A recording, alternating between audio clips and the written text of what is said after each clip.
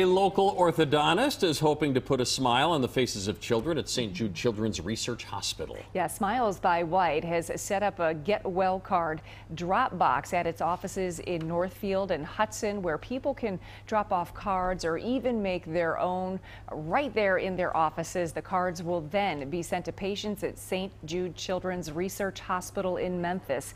Smiles by White will have cards to color and fill out at this year's Dream Home in Rocky River as well uh, when open house tours begin in just about two weeks.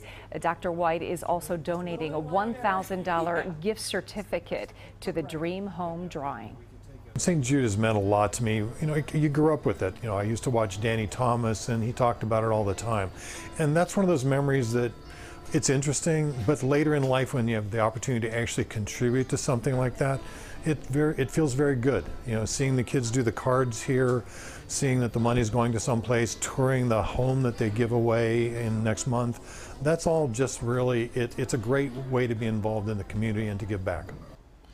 Open house tours of the St. Jude Dream Home in Rocky River begin June 2nd and run every weekend through June 24th. You can drop off a card for Smiles by White, and just by touring the home, you could win $10,000 in furniture from Fish Furniture. For more information, head to fox8.com. She did what?